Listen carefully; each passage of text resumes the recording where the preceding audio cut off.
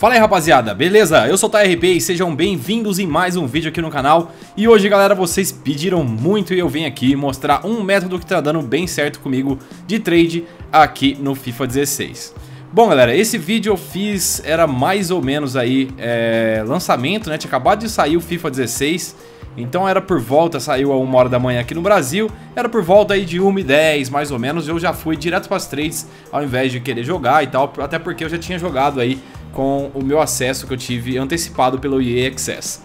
Bom, essa trade eu já venho fazendo né, no FIFA 15, já trouxe vídeo para vocês. É uma trade que eu vou fazer com consumíveis. Então vamos lá para a dica, eu vou falar novamente dessa trade com vocês e tenho certeza que vocês vão curtir, beleza? Então vamos começar aqui.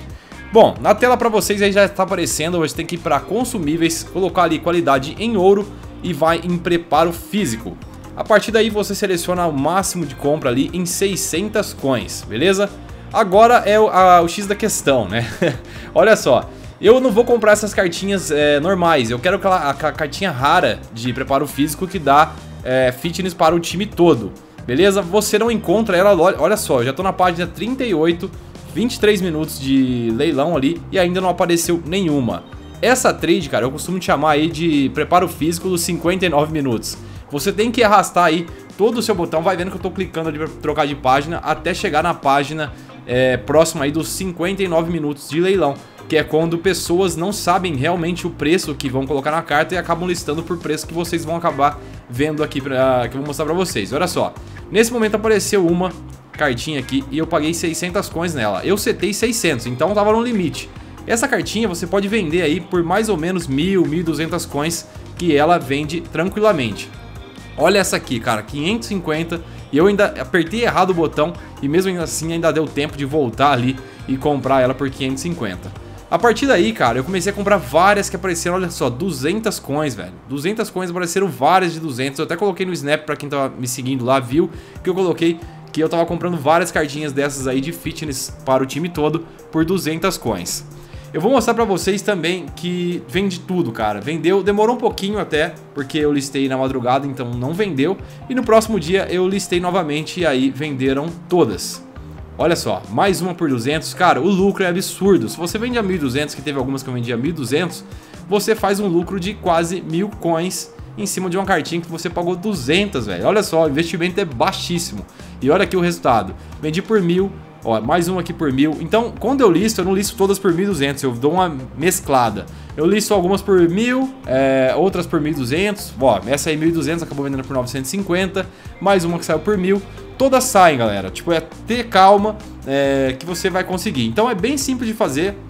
É só fazer aquele é, etapa que eu fiz no começo desse vídeo, você seta o preço que você quer pagar. Como eu disse, o mercado aqui no Xbox, esse aqui é o Xbox One, é, tá saindo por 1.200, mais ou menos mil aí, como eu mostrei pra vocês. Então, coloca lá o preço, mais ou menos a margem que você quer ter de lucro. Quero mostrar pra vocês também aqui qual a quantia que tá aqui no meu Transfer Profit. O meu lucro aqui de transferência está em 107 mil coins, 995 somente fazendo trades. Eu já tô com um time montado e ainda tô com aquelas moedas que vocês podem acompanhar ali, 60 e 65 mil coins mais ou menos. Eu tô utilizando de outros métodos e trago para vocês em outros vídeos. Mais uma curiosidade aqui, galera, é o, a quantidade de leilão que eu quero mostrar para vocês que tem no Xbox One. Eu tava reparando hoje, olha só, Aqui no Xbox One tem mais ou menos aí 600 mil transferências e tal acontecendo nesse momento. Você vai no PlayStation 4, cara, tá em torno aí de quase 2 milhões de transferências acontecendo. Então é quase três vezes mais. Então fique esperto aí se você tá no mercado que tem mais gente, com certeza esse preço vai ser ou um pouquinho é, menor aí, né, do que a média, mas, cara, é muito difícil. Essa, esse tipo de trade eu tentei fazer no, no, PlayStation 4 também. E por 600, 200, assim, eu acabei não encontrando. Eu não sei se muitas pessoas estão fazendo também essa forma aí. Mas no Xbox acaba sempre aparecendo essas de 200. Mas tenta aí, cara, não custa nada, beleza? É só ter um pouquinho de paciência, ficar trocando, uh, pra trocando de página lá, que uma hora aparece. Beleza?